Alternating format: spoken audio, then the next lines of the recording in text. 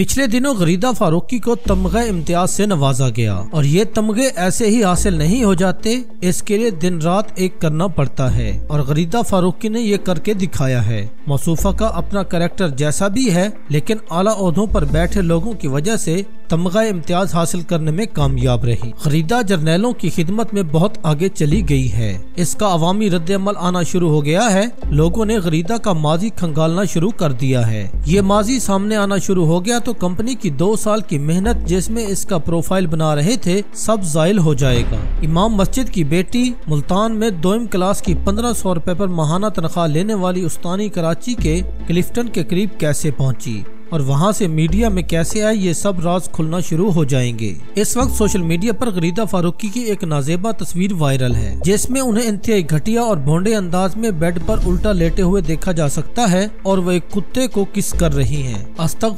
कैसे गिरे हुए लोग हैं। इस नाजेबा हरकत पर सोशल मीडिया की जानब से मौसूफा पर शिद्दीद तनकीद की जा रही है।